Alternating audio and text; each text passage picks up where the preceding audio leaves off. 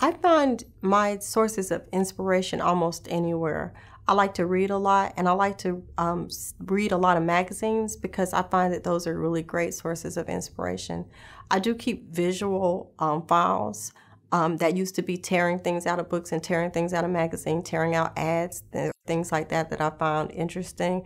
But more and more that's also becoming digital, so it's marking things or keeping files on my computer of things that other people are doing, um, and those are inspiration for me. Um, I like to see what the design trends are out there, so that it means getting involved with um, industry events and organizations so that I can have conversations with other people who are doing similar work as I am.